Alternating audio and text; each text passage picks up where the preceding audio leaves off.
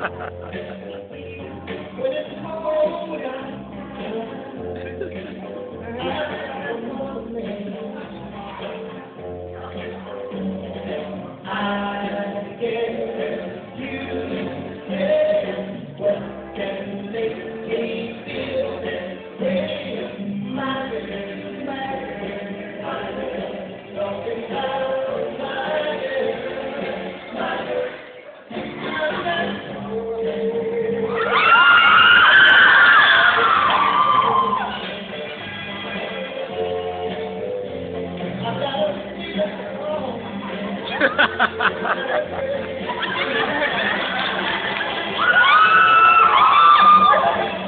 look like Little Richard too.